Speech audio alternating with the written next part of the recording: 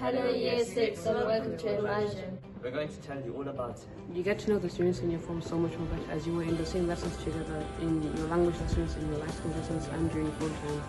You spend lots of time together as a form, so it gives you an opportunity to bond quickly with new people. Also, I met two of my best friends in Immersion. You remember things more easily and more quickly because you get more practice and more lessons. It makes your normal language lessons feel easier and you get ahead in your languages and makes your GCSE feel easier. Immersion gives you the more uh, understanding of the language because you practice it and apply it during form time. You get the opportunity to go to France or Spain in year 9 or year 10 if you want to. It's something that other schools do not have, so it makes you stand out when you're applying to college or university. When I first heard about immersion, I wasn't too sure whether I wanted to do it because I wasn't a language person. However, my family and friends have persuaded me to do it, and I feel I've gained a lot from it. I then decided to take on a GCSE in my home language, and I feel I have gained a lot of confidence.